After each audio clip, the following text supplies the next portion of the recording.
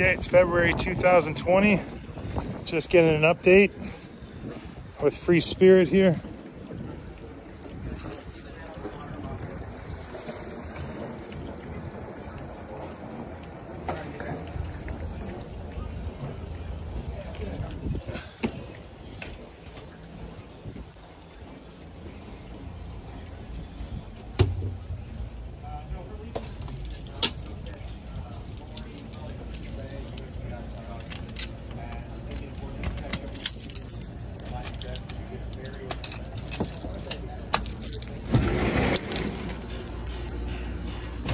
Right, so nice and cold. AC's running.